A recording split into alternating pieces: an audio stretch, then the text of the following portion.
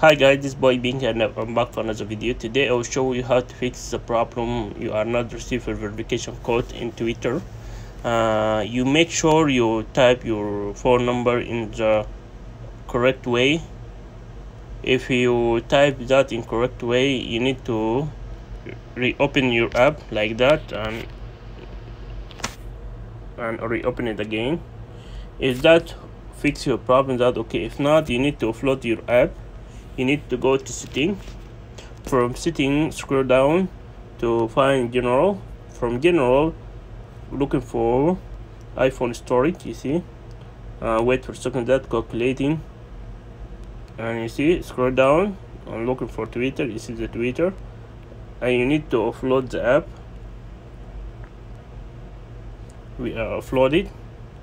After that if if if that fix your problem okay. If not go to app store from app store uh, search for Twitter.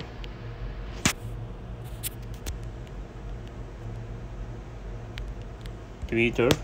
You need to make sure you are in the last version you see? You need to make sure that in the last version. Is that fix your problem it's okay. If not you need to delete the twitter app and download it again from the previous step i hope that helped for you and don't forget to subscribe to my channel to see new stuff and see you next time guys. Bye bye